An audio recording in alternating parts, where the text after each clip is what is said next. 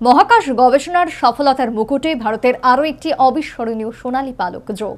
বিশ্বের প্রথম দেশ হিসাবে চাঁদের দক্ষিণ মেরুতে পৌঁছে গেল ভারত। চন্দ্রযান থ্রির সফল অভিযানে বিশ্বকে টেক্কা দিল ইসরো। বিশ্বব্যাপী ভারতের জয় জয়কার। চাঁদে নামল ভারতের চন্দ্রযান থ্রির ল্যান্ডার বিক্রম। অবশেষে সব প্রতীক্ষা উৎকণ্ঠার অবসান। চাঁদের দক্ষিণ মেরু আজও অনাবিকৃত। অন্য সব দেশের যখন চাঁদের দক্ষিণ মেরুতে পৌঁছানোটাই দুঃসাধ্য, তখন তা করে দেখাল ভারত। চূড়ান্ত পর্যায়ের এই অবতরণ প্রক্রিয়ার সময় লেগেছে উনিশ মিনিট। এরই মধ্যে ইসরোর মাধ্যমে মহাকাশ গবেষণায় নতুন ইতিহাস রচিত, চাঁদে সফলভাবে মহাকাশ যান অবতরণের ব্যাপারে বিভিন্ন দেশের তালিকায় চতুর্থ হিসাবে নাম উঠল ভারতের এক্ষেত্রে আমেরিকা, রাশিয়া এবং চীনের পরেই এখন ভারতের অবস্থান। তবে চাঁদের দক্ষিণ মেরু আবিষ্কারের কৃতিত্ব প্রথম অর্জন করল ভারত। অবিস্মরণীয় অনন্য ইতিহাস। দক্ষিণ আফ্রিকায় বসে চন্দ্রযান থ্রির ল্যান্ডার বিক্রমের অবতরণ সরাসরি পর্যবেক্ষণ করলেন প্রধানমন্ত্রী নরেন্দ্র মোদী।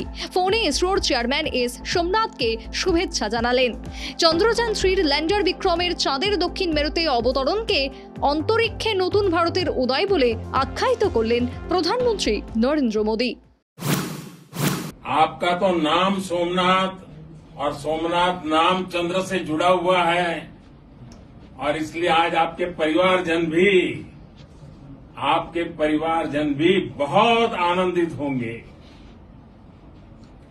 मेरी तरफ़ से आपको, आपकी पूरी टीम को बहुत बहुत बधाई।